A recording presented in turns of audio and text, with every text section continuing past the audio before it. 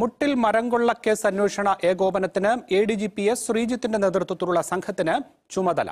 വനം vigilance crime branch വകുപ്പുകളുടെ അന്വേഷണം ഏകോപിപ്പിക്കും. റവന്യൂ ഉത്തരവ് വളച്ചൊടിച്ചതിൽ ഗൂഢാലോചനയുണ്ടെന്നാണ് സർക്കാർ വിലയിരുത്തൽ. ഇക്കാര്യം പ്രത്യേകം പരിശോധിക്കാൻ അന്വേഷണ സംഘങ്ങൾക്ക് നിർദ്ദേശം നൽകി.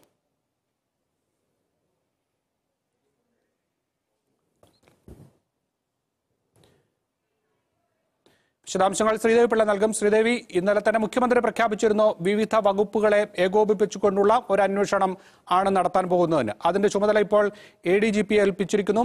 ഈ അന്വേഷണത്തെക്കുറിച്ചുള്ള സർക്കാരിന്റെ കാഴ്ചപ്പാട് എന്താണ്? മുഖ്യമന്ത്രിയുടെ പ്രഖ്യാപനത്തിന് പുറകെ ചീഫ് സെക്രട്ടറി വി പി ജോയിയാണ് ഇത് സംബന്ധിച്ചുള്ള ഉത്തരവ് ഇറക്കിയിരിക്കുന്നത്. Crime branch A D G P S ശ്രീജിത്തിനാണ് ഈ വിവിധ വകുപ്പുകൾ ഒരുമിച്ചുള്ള അന്വേഷണത്തിന്റെ ഏകോപനം നൽകിയിരിക്കുന്നത്. ക്രൈംബ്രാഞ്ചും വിജിലൻസും അതോടൊപ്പം തന്നെ വനം വകുപ്പുമാണ് ഈ വനം കൊള്ള സംബന്ധിച്ചുള്ള അന്വേഷണം നടത്തുക. ഇതിൽ വനം ഉദ്യോഗസ്ഥർ അതാത് സ്ഥലങ്ങളിൽ ചെന്ന് ഇതിന്റെ എല്ലാ വിശദാംശങ്ങളും പരിശോധിച്ചുകൊണ്ട് എത്ര മരം മുറിച്ചു ഏതെല്ലാം പ്രദേശങ്ങളിലാണ് എന്ത് നിയമലംഘനം ഉണ്ടായിട്ടുണ്ട് പാസുകൾ എത്ര എണ്ണം നൽകി ആരായിരുന്നു നേരിട്ട് വന്ന് മരം മുറിക്കുന്നതിനുള്ള പാസ് ആവശ്യപ്പെട്ടത് തുടങ്ങിയുള്ള കാര്യങ്ങൾ സംബന്ധിച്ചുള്ള ഈ ഏതെല്ലാം സ്ഥലങ്ങളിൽ പ്രശ്നമുണ്ടായോ അവിടെ നിന്നുള്ള വിശദാംശങ്ങളായിരിക്കും അവർ ആദ്യം കളക്ട് ചെയ്യുക.